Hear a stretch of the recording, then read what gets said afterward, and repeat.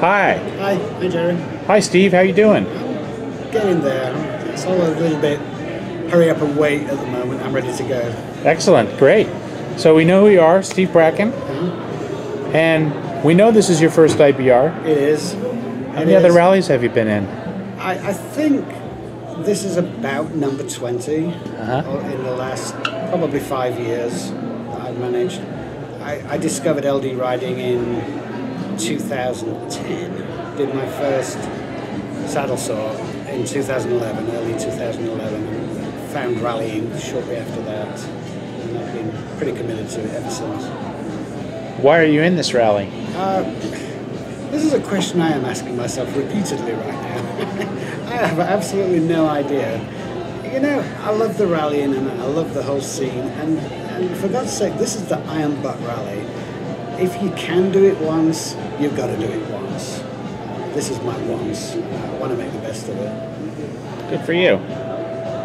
And what do you think are your your biggest challenges? What are you afraid of, or what do you anticipate might be really hard for you? I'm hoping that I get mechanical reliability. I'm hoping that the weather is not too unendurable.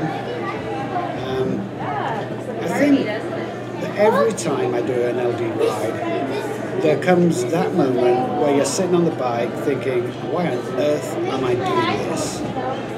But what I think I've learned over the years is that if you don't have those moments, you're probably not trying hard enough. What I'm expecting is that feeling on steroids several times during the next 11 days. But you know, that's that's the deal. This is supposed to be tough. I, I expect it to be tough. Tough hurts sometimes. Right. But tough is good too. It is. It's great. It's because you've pushed yourself as far as you safely can, and, I think that's the key. It's about people ask me a lot. They don't understand why I ride a motorcycle long distance, so they ask, and really the only answer I've got to the question, "Why do you do this?"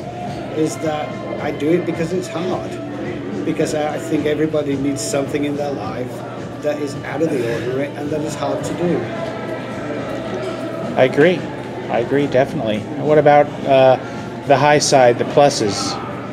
there's something that you know the hug from your daughter or from your wife when you when you've done something wonderful that's great but i think that the real payoff is a very private thing it happens inside your head it's when i get to the end of a rally and i text to, to my wife crushed it i don't mean that i won i mean i got here and i still have 10 fingers and 10 toes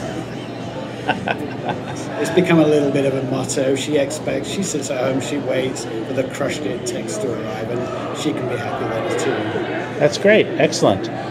Well, I hope you have a great time. Well, thank you, Jerry. And um, I have a lot of confidence in you. I know you're going to do well.